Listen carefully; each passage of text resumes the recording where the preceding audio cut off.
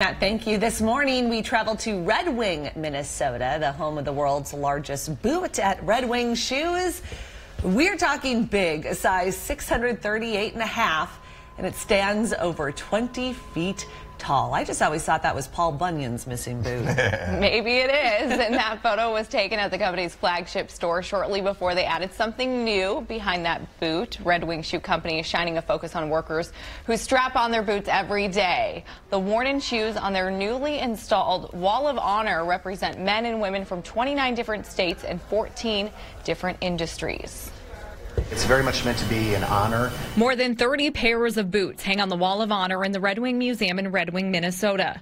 Boots worn for years by real people, some still living, others who have passed on. The types of stories that are represented on the wall are multi-generational. So much of the people um, that we're paying homage to here are people who just quietly go about their work.